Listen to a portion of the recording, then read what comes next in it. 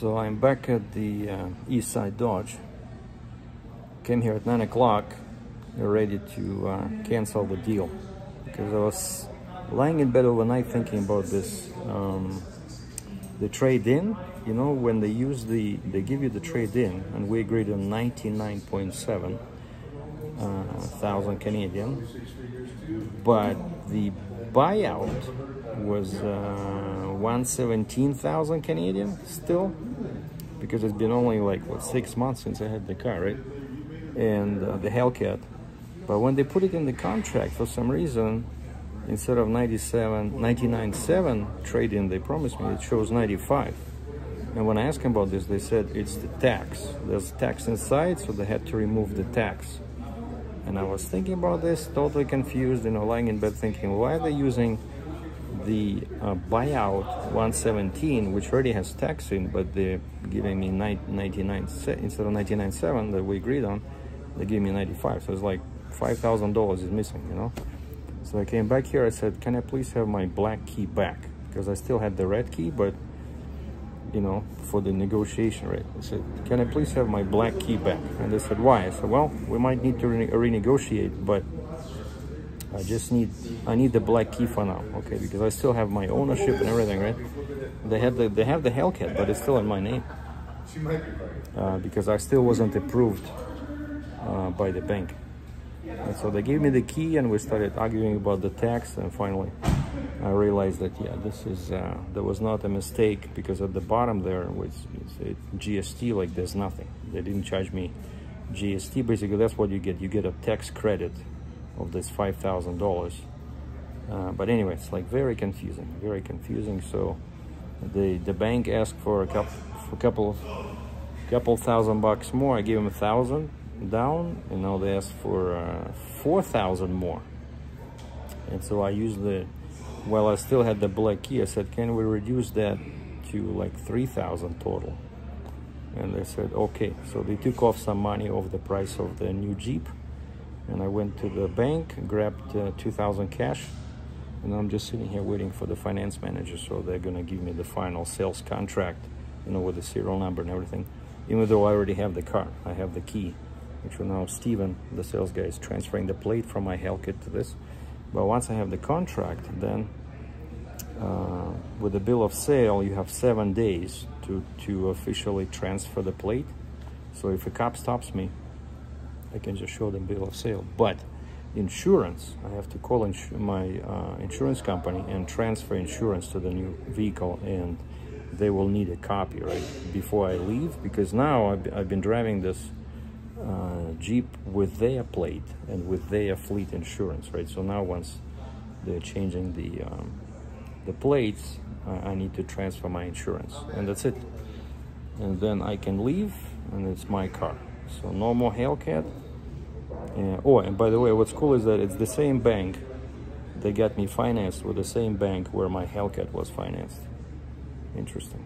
And like here there's a, a lot of cool vehicles over here like this jeep is just amazing you know this is uh, sahara sahara jeep and over here they used to have uh, there was a red hellcat just like mine only red sold. See now they have a charger. And this charger is not even uh, rt it's uh, you see like nothing here. So it's a gt so it says this four-wheel drive but GT if there's nothing I'm pretty sure it's it's just a V6 just a V6 but another cool thing here while I'm waiting and there's a huge Wagoneer there over there Grand Cherokee. Uh, but a cool thing is this I saw I thought I wanted to show you guys the story of the Jeep you know it's like it's really interesting like the past model so it started in 1940 with the Willys. The first Jeep was Willys Quad, right? Then 1946, they had a Willys wagon, right? America first all steel station wagon. And then there was Jeep's Jeepster in 48 to 51. And then they got this Jeep M170 that was made between 53 and 64, right when I was born. So that was probably a popular vehicle. And then they got this Willys MB that was used in the Second World War, 41 to 45. And then we have Willys Overland truck, truck for farmers. That looks more like a modern uh, pickup truck, right? So 47 to 65. Then this was another military one, uh, 52 to 71 Jeep M38A1. And now here, with this Jeep CJ5, we already see something very similar to modern Jeeps, Jeep Wranglers. Civilian Jeep brand. Ah, okay, so they use this one and they created a civilian one. Okay, now 63, we have Jeep Wagoneer, first luxury 4x4 SUV doesn't look like much and now they have Wagoneer as well the new one which they don't because here they ended 2018 and now they have they came back to the same name. And this one was used in Vietnam M715 67 to 69 J10 pickup Honcho 74 to 87 uh, finally we have Cherokee first time in 75 full-size Jeep uh, with two doors by the way. 75 to 83 and then we have the gladiator which they're making now. 63 to 87 Jeep Gladiator Jeepster Commando 67 to 73 uh, CJ5 Renegade and they had CJ5 over there 72-83, and then CJ7 76 to 86 and this is a scrambler CJ, CJ8 Comanche 86 Wagoneer Limited 84 to 90 and finally Wrangler right? So 97 that's when it came out. That looks exactly like it it's still looking today. 97 to 06 then we have this. yeah? Then we have CJ5 Laredo 80 to 86 elevated style with chrome accent Grand Wagoneer uh, Jeep Wrangler again 87 to 96 modernized Wrangler with the roof. And now this one of course Cherokee 93 to 95 and uh, these are already modern ones. Jeep Liberty Jeep Compass first time in 2007 uh, Jeep Cherokee again Liberty. Uh, Jeep Compass 2017 to that looks like my car and Gladiator. See so they went back to the gladiator. So originally it was it looks like this looked like this. So now it looks like this. And then we have commander again cherokee with off-road capability renegade and that's the modern version of the wrangler there's a couple of more mo uh, models that are not shown here like this Wagoneer, right? So that's the one over there. The black one, very expensive. So Steven, my sales guy, uh, showed me some really cool things here. Like, you know, this is a really advanced dash. There's so many options here, like by using this button. Look, it can be this, right? After right. 80 meters, go around the roundabout and take the third exit, Redstone Boulevard Northeast. Yeah, basically it's, uh, hold on. And I added my uh, added my home address over here. So now you know when I click home it will take me here. So very nice big screen right? Very bright. And I really like all this stuff here. So still manual. I can do manual. If I go into if I push it to the left bunch of controls here bunch of controls over here. But yeah this one is really nice. You know it's it's neat right? Uh, click ok for digital. Oh this is just miles per hour versus uh, versus uh, So like now it's uh, miles per hour. I can click, I just push the OK button, switches to kilometers, which is super useful in in US. When you go to US, I always want to see uh, miles per hour so I can adjust my speed. And here, see like it shows you your trip A, you can reset it. It shows you your current and um, well, now the engine is stopped because it still has the stop and go and average uh, fuel economy, uh, current speed limit, and then what's playing on the radio right now. And it has all kinds of advanced collision systems, you know, lane departure warnings, and um, and this is how you you turn off that uh, auto stop and go. The only problem is um, the only problem is uh, uh, Steven said uh, you have to do it every time. You know, it cannot be turned off completely. So basically, when you start the vehicle, if you don't want this, you click that button. And once you shut down the engine, it's gonna reset. it's gonna reset, and of course, it has a um, adaptive cruise control. You see, like with this, you can choose your your distance, how far, how far you want, you know, to be from a vehicle in the front, and then once the sensor uh, realizes, you know, that that distance is reached, it's, it's gonna start slowing down. And of course, you can use your Bluetooth, you know, all kinds of cool things. And then over here, I still have to learn all this. Uh, oh, that's where the trunk is. Finally, I found the button for the trunk. Now, like on the Hellcat and all Challengers, it was over here. And I was like, what the heck was the... Where's the trunk button? So it's over here now. And of course, it's all leather. And uh, basically, I waited there um, when we finished the deal. I went, uh, they gave me a rental car, like super nice. I'm telling you, this dealer is super nice. They gave me a rental Jeep Jeep Cherokee. I said I want to go to a coffee shop to wait while you guys are detailing the car because they did clean it up before, but it was just you know quick cleanup job. They did not do the full size you know pre-sale um, uh, you know polishing, cleaning, and so these mats were in the back, and so I asked them, can you please like install all the mats? you know and i'm super happy with this because you know normally this costs a lot of money like at least i don't know 250 bucks you know? Uh, even my hellcat such an expensive vehicle didn't come with any floor mats you know? I had to i even didn't buy something uh, usually i buy that weathertech but with hellcat i went cheap and i just drove over to canadian tire and i got some basic mats that would fit in here.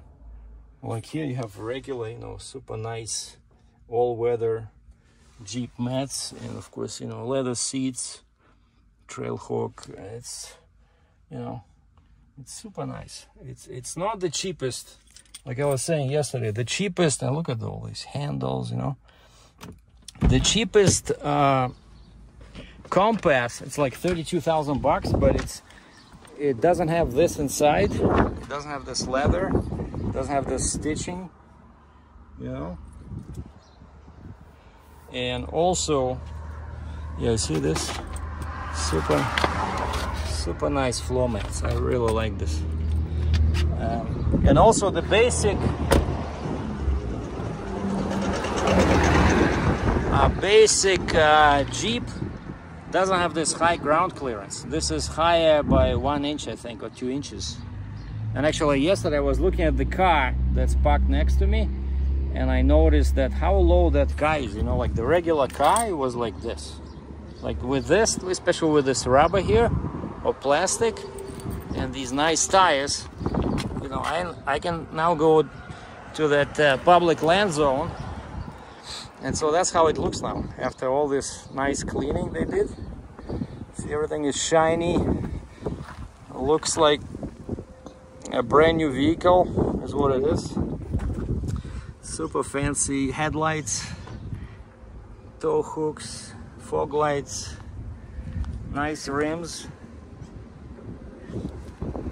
trail rated so skid plates underneath just no sunroof which I don't need anyway and that's my new ride boys and girls I don't know. I'm real happy with this. The only thing now I have to, to uh, get used to is that the tank opening is on the right. Whereas before, before it was on the left. Very, you know, modern lights. And of course, you know, you can close the vehicle by like this. You can put your, you can put your, uh, oh, and it has this. I really like this uh, turn signals let's just turn on four-way flashes and see how how the lights look you see it flashes here like look at this isn't that fancy it flashes here at the top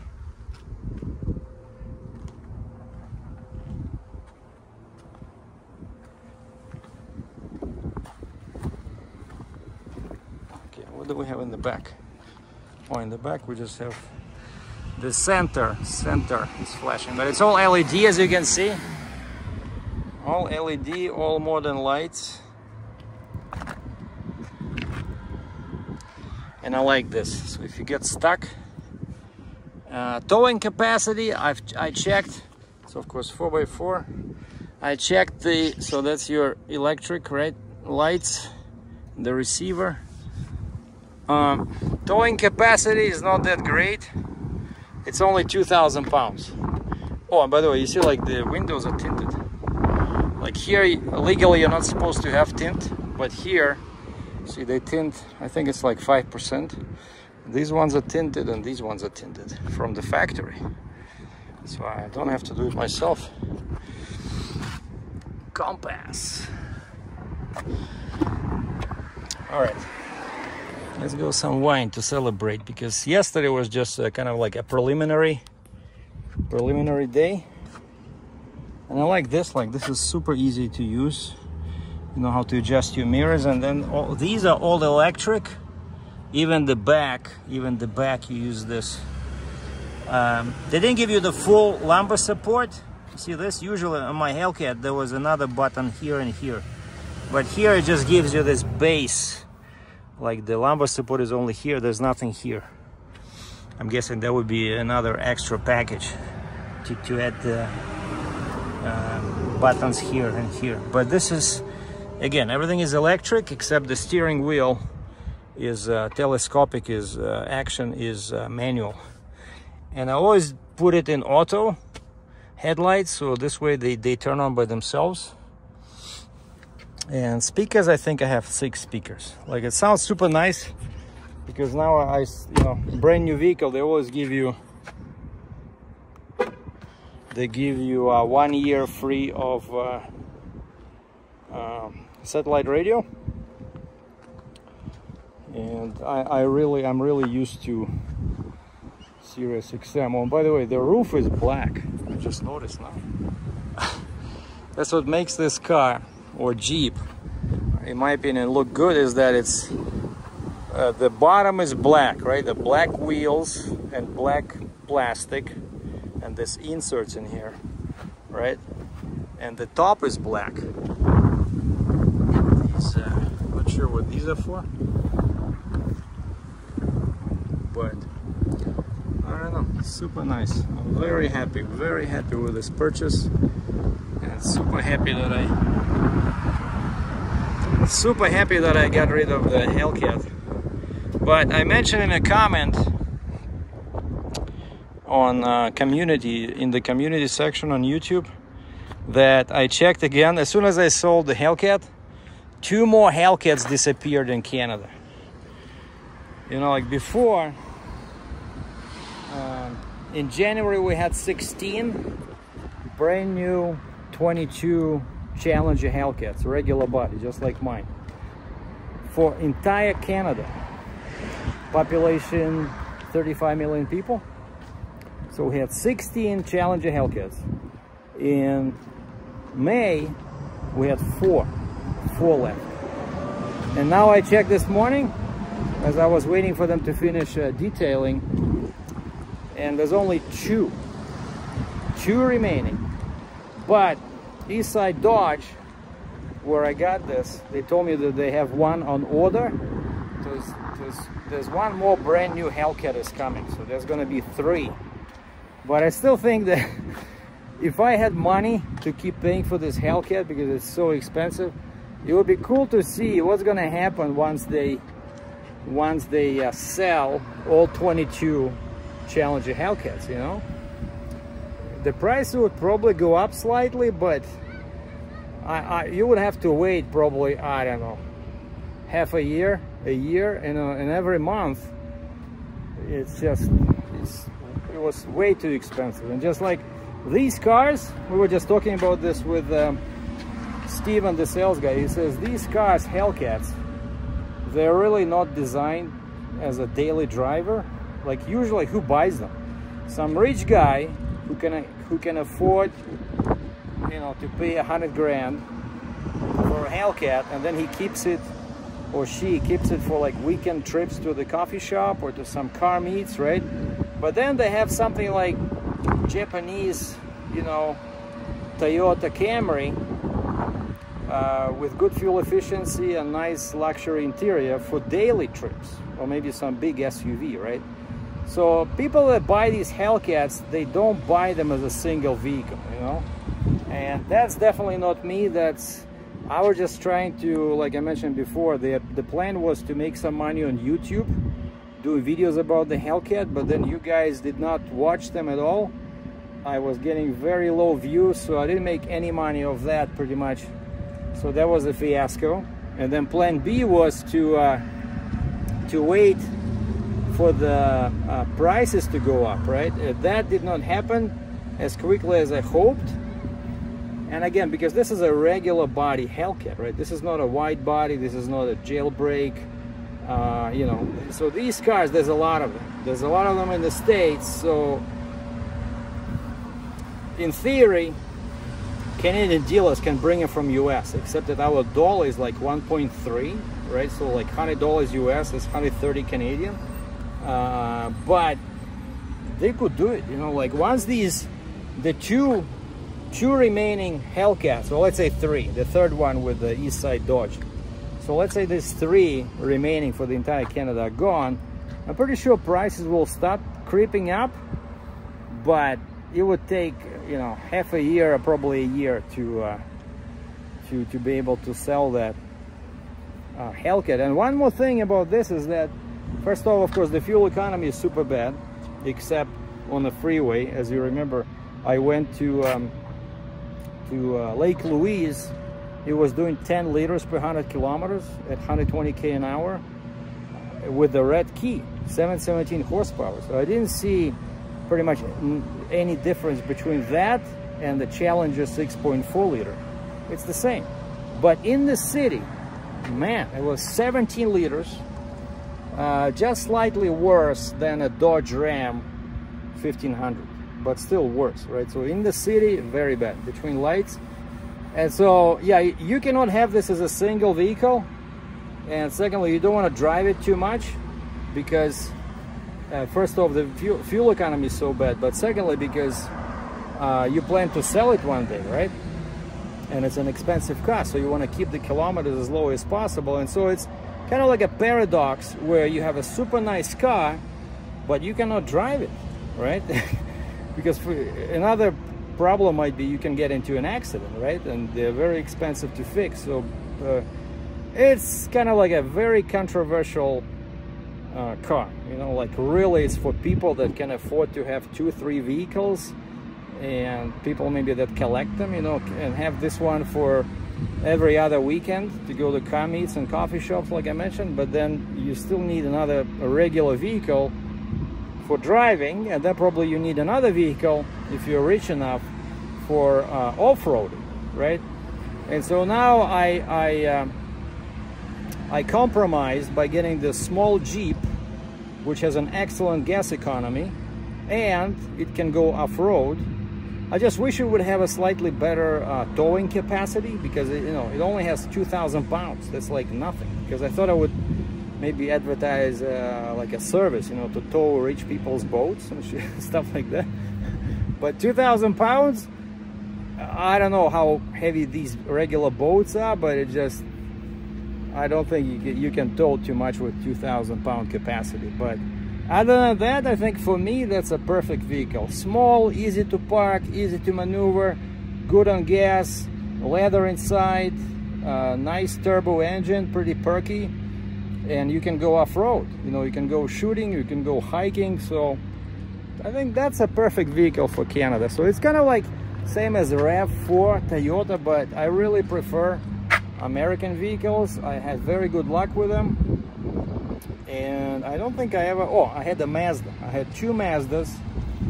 And I cannot say that I liked them because the ride was very harsh.